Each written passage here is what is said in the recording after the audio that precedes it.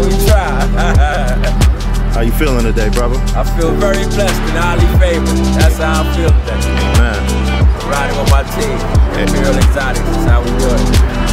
2021 and beyond.